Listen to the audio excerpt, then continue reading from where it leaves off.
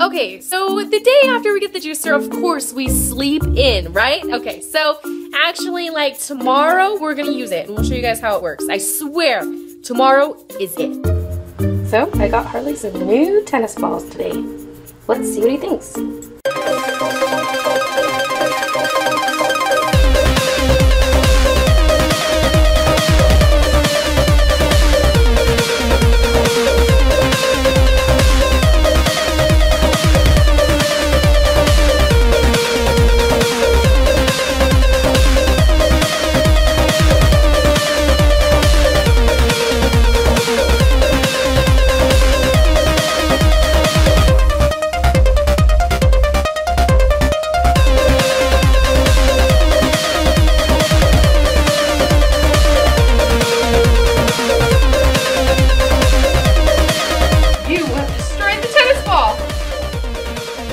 God, there's a piece there.